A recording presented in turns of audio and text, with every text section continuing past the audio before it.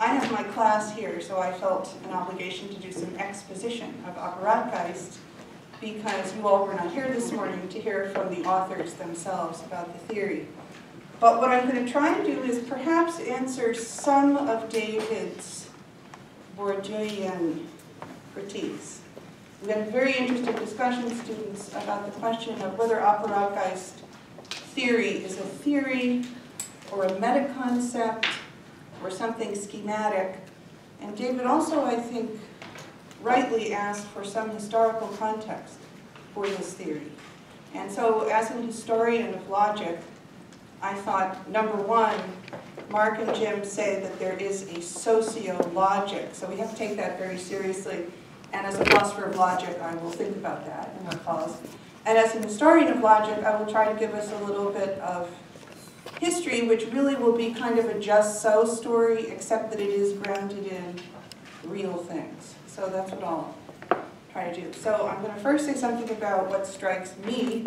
I'm not a sociologist, but what strikes me about what's novel and important about Apparatgeist in terms of bringing in the social dimension, something that at least analytic philosophers tended to downplay, and I think in popular culture as well. Then I was going to give, I have about eight slides on Apparatgeist theory, 1999. We've already talked, so I may zoom through some of those more quickly.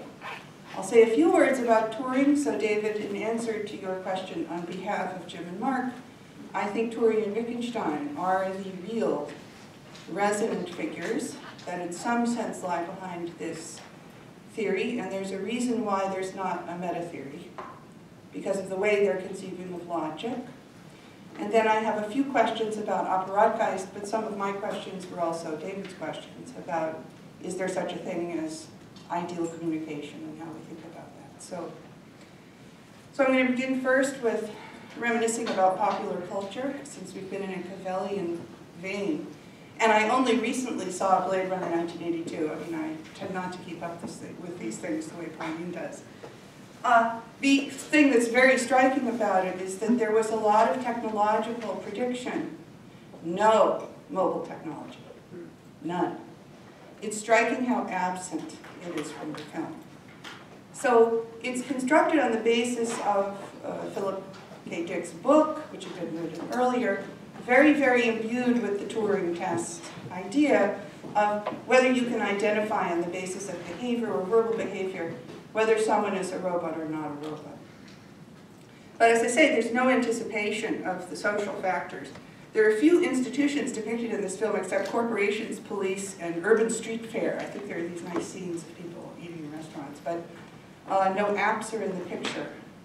And there's no imagined hybridization of computer technology in humans. So I think what's always important when you do philosophy is to think about the arguments that are not there. You have to look at what a philosopher is not arguing for. Similarly here in the film, you have to look at what wasn't there. So for me, Apparatgeist is very profound because of the dimension of the social that Jim and Mark are really insisting on, however malleably and, and schematically. So now I'll try to justify what that is. So looking back to our historical context for this theory, I think we should have a look at the Turing test one more time. You all have heard of this, I suppose. Alan Turing calls it the imitation game. What it really is, is a language game in Wittgenstein's sense. It's important that it is a game. And he used to laugh hysterically out loud reading passages from this. It was treated by the AI community as this sacred Bible. I think he dashed it off and thought it was kind of funny. The main purpose of that argument, from a logician's point of view, is that he is denying that we have any general criterion of intelligence. He's denying that. He's smart enough to see we don't have it. So just thinking like a logician now, to prove that you cannot do something is very different from proving that you can do something. To prove that there is an algorithm to make people act a certain way, you just build it. That might be hard, but that's what you do. To prove that there cannot be an algorithm, you have to have a general analysis of the notion of what an algorithm in general is before you can prove. So Turing's point in this paper was really, because we don't have a general analysis of intelligent behavior, We cannot not prove that the machine can. So this is very important. Second thing is, um, often the social dimension, the latently or incipiently social dimension of this game is widely overlooked. People look at it uh, from the point of view of the person behind the screen who's divided off from the social context. But in fact, the human on the other side is doing stuff. The human on the other side is trying to be recognized or acknowledged, to use Cavellian terms, by the person who's playing the game. And in fact, what Turing was doing here was setting up a kind of break or control on anthropomorphization. That is to say, he had played with computer games and chess, and he realized very early, I'm so tempted to say that the thing is thinking. Why is that? He decided that intelligence is really what he called an emotional concept. It's a response-dependent concept. And so the purpose of the Turing machine is not, I think, just some kind of epistemological skepticism or pure communication idea, but it's to put a control and have a human here and a machine here, so that the tendency we have to anthropomorphize the machine is weeded out. Okay, so lots of grand claims from people in AI through the 60s about artificial intelligence and general intelligence. Turing, as I'll explain, didn't think any of that would really work. My picture of Apparatgeist is you just multiply that picture. I only did it three times on my screen. But if you imagine multiplying it about a billion times across the whole Earth, that's what it is. And so now what you have is some people looking at screens, communicating with other people, but other people are watching them looking at their screens and talking over their shoulder about what they're saying while they watch those screens. And now we have words as part of reality commenting on machines. And this is all part of reality. And the reality I would respond to David is on one level, in some sense, this abstract sense.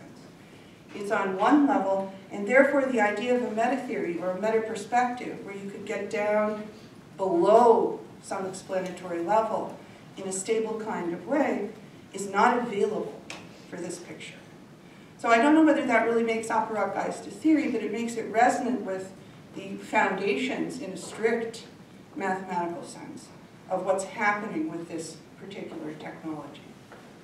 So, back to Cavell, the problem of other minds is more fundamental than the problem of the external world, than the problem of real versus virtual. But here it's a question of the particular ways in which we acknowledge others, the particular language games we play in showing ourselves and hiding ourselves. And the word acknowledgement is different from identifying whether something is human or machine. Acknowledgement has to take place in a kind of morally saturated situation of personas, everyday life. So it's not a matter of building criteria for being human or good or bad anymore. It's a question of the specific forms in which we recognize other human beings in that process of individuation that Pauline was just talking about. The Rousseauian idea is that we want to be freely recognized by others who are worthy of recognizing us. And we, they, we want them to think we are worthy recognizers of them. So this epideictic function of language, which Mark and, and Jim place at the center of the theory, it's about praise and blame and how this is all very, very important, I think, to the picture. And usually philosophers who think about AI leave that out of the picture altogether. They have a, a very unepideictic picture. They want the notion of information. They don't want the notion of praising or blaming or I like it or I'm responding badly to you to be part of the theory.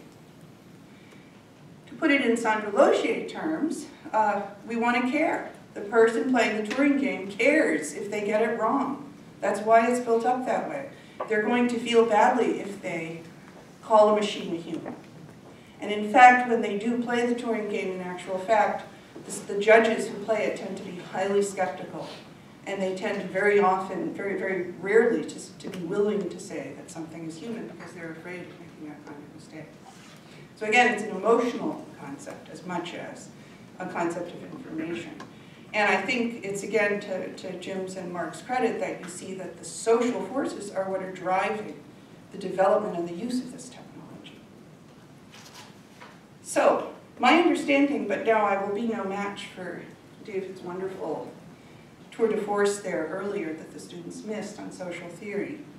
The usual categories here would be agency, structure, interaction, and change. And in Bourdieu, you do have this notion of the habitus.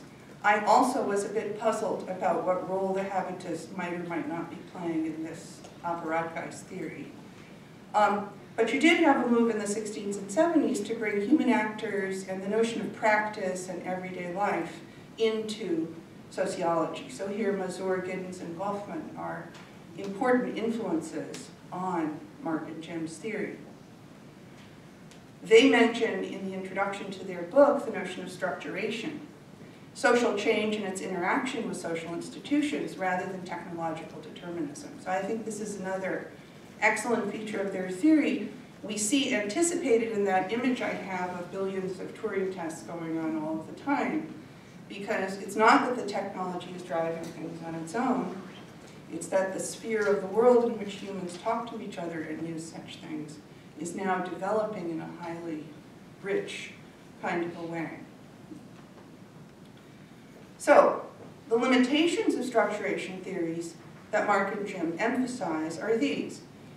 Uh, they put people back in the picture, but they focused on particular domains of home, work, family.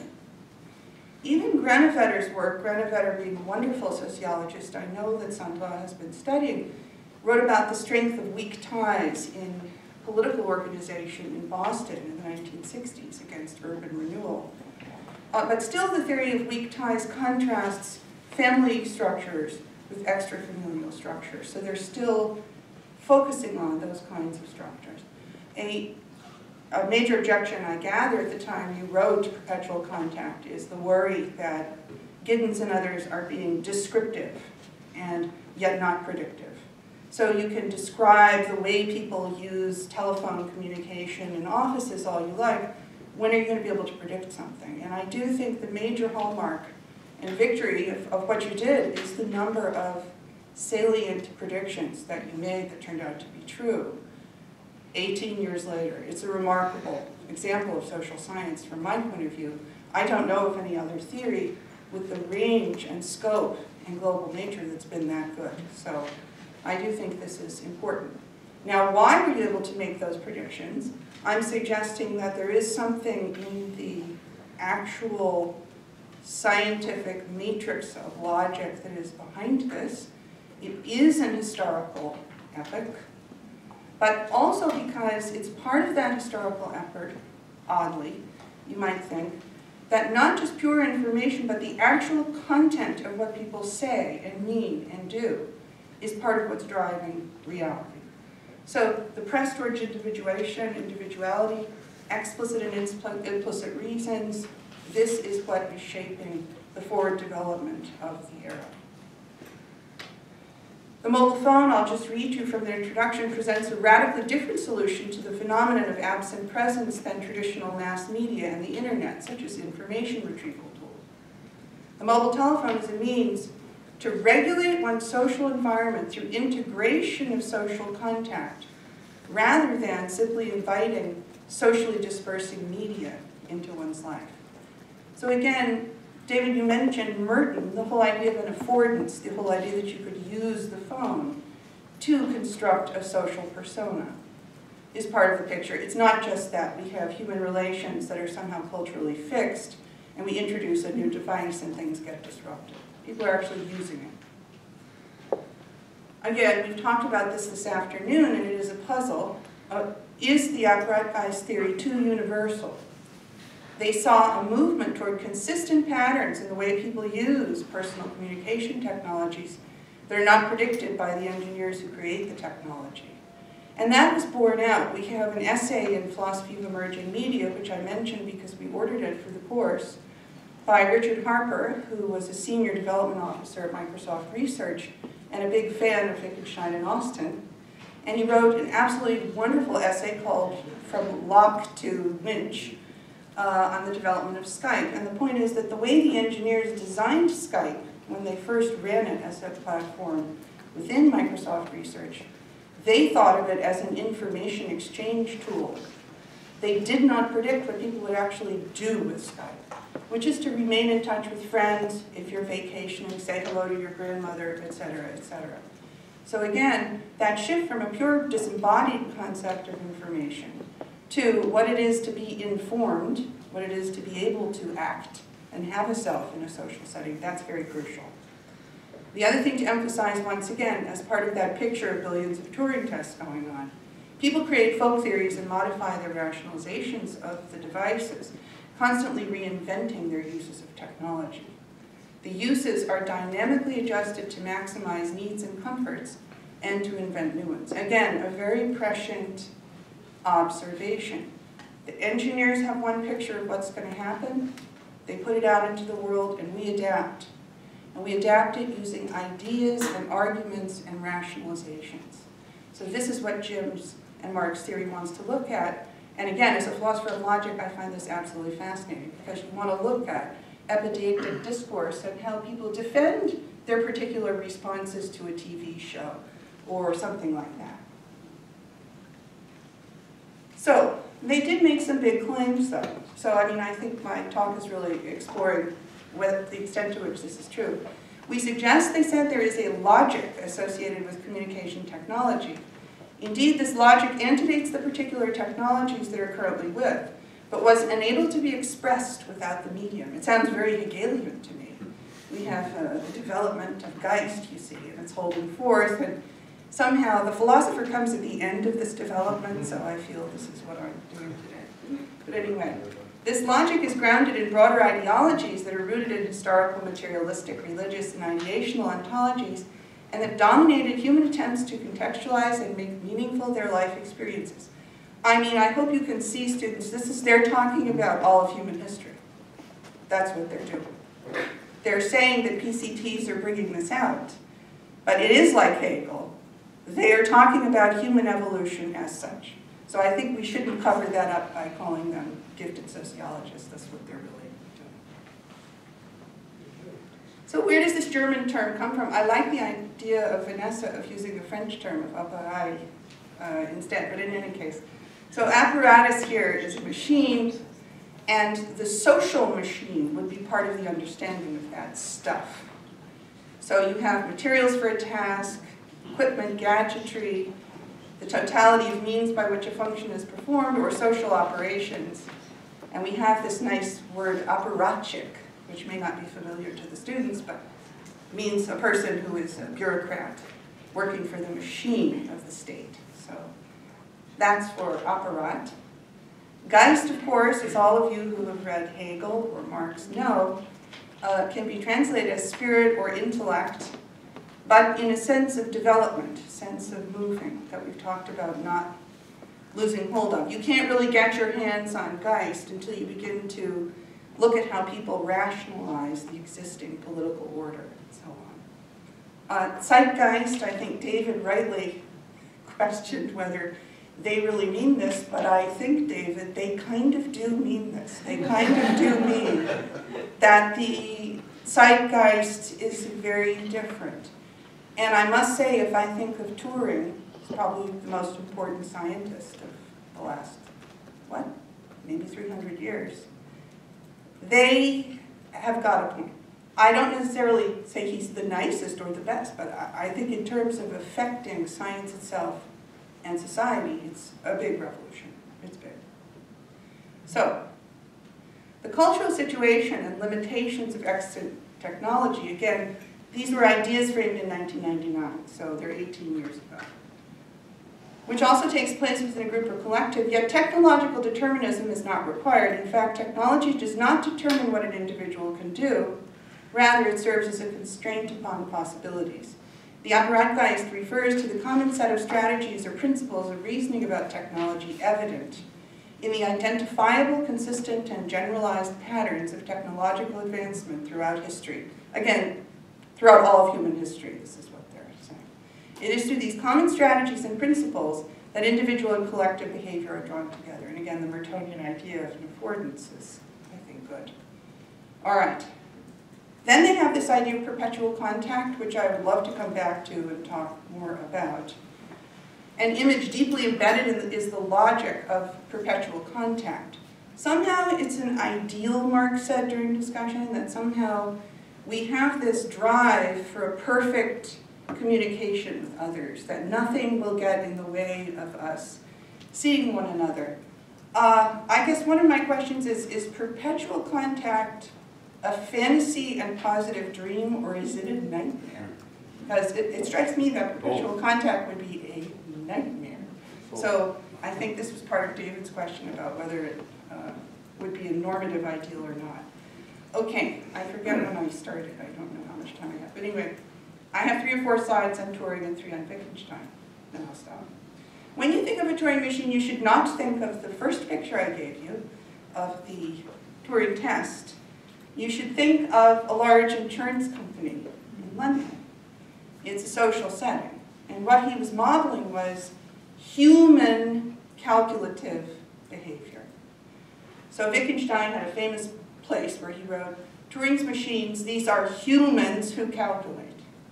So that's what it was, modeling that.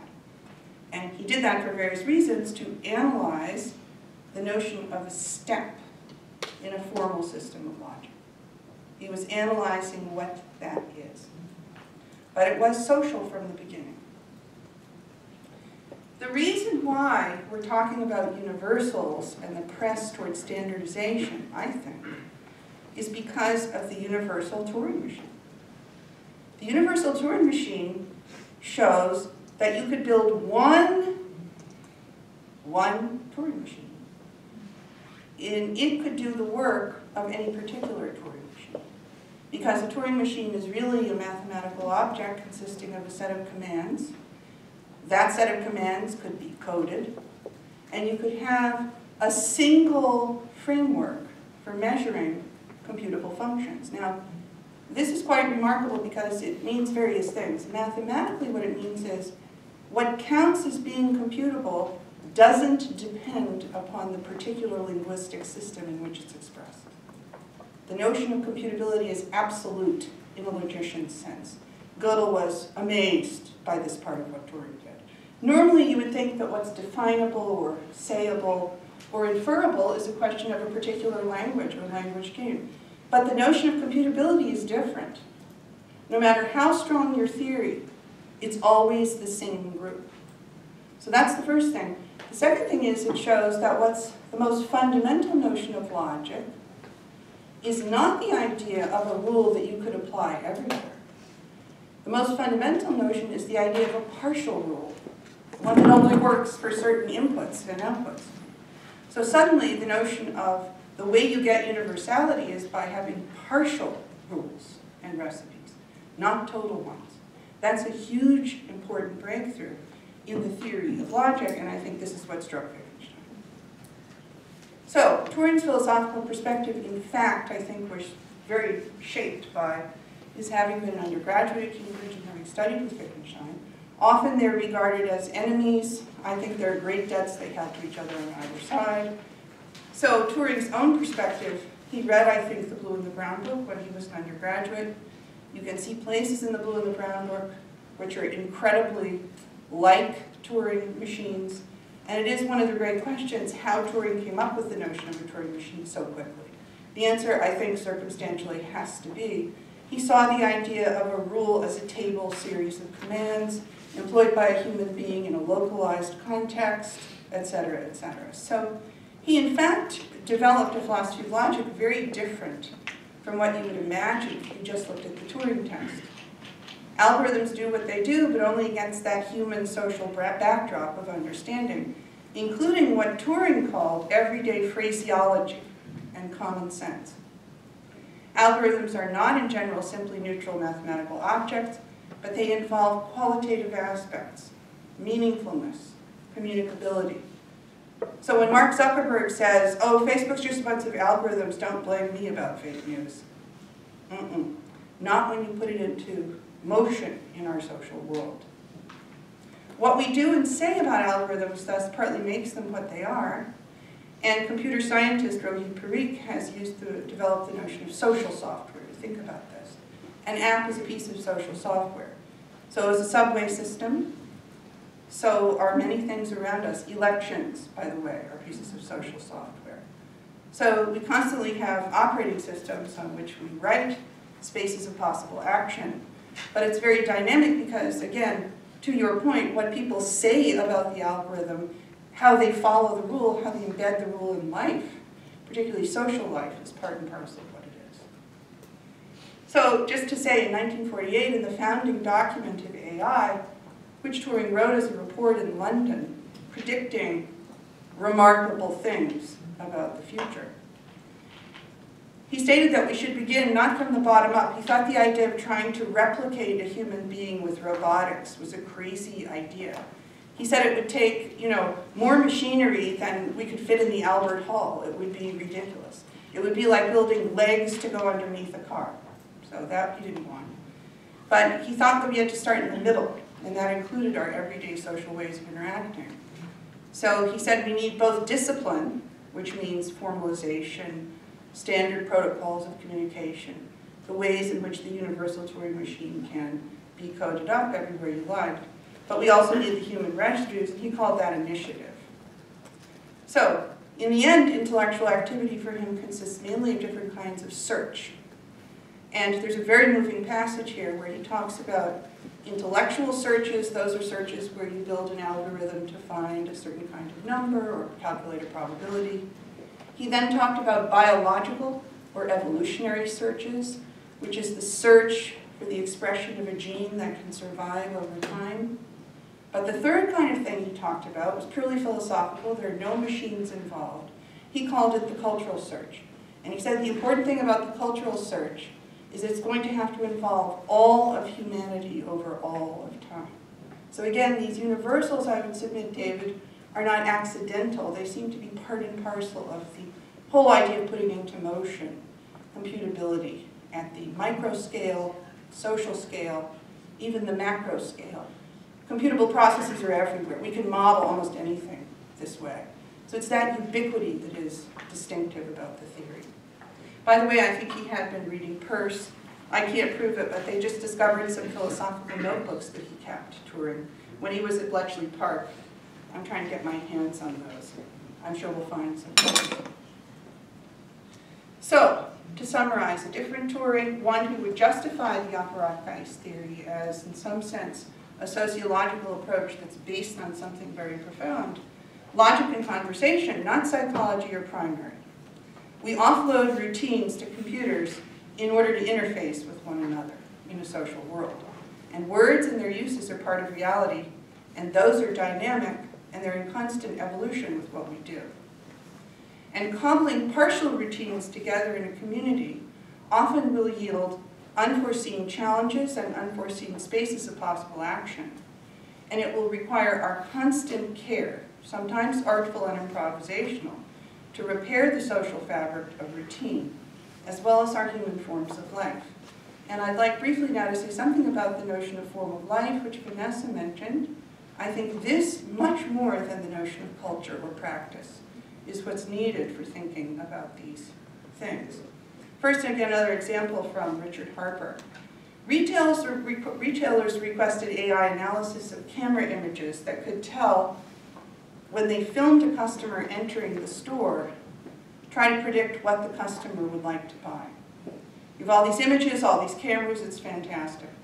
On the other hand, the data set ontologies that they needed to use don't overlap with our human ways of acting, like being bored, showing off, lingering, comparing.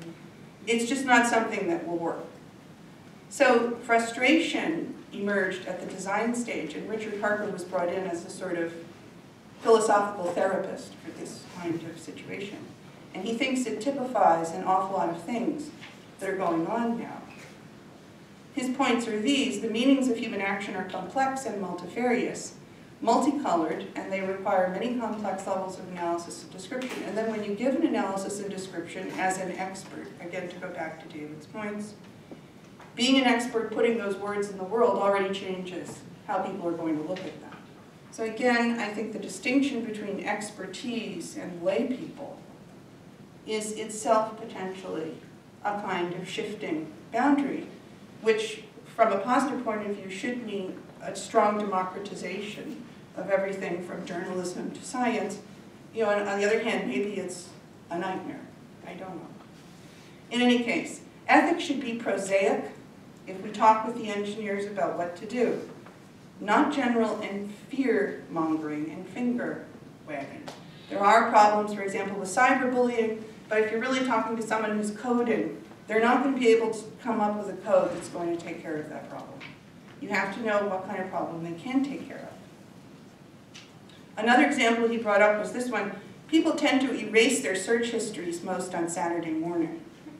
The first prediction was they're erasing their pornographic escapades during the week.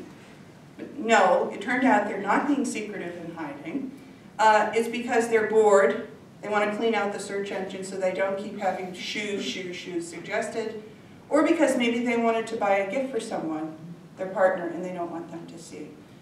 Another point about this Apparatgeist theory that I really like is I think it's a form of experimental philosophy, which is not based on a fictive philosophy of mind, but has real potential to make predictions and see what's going on out there. And a lot of us have ideas about what's going on out there.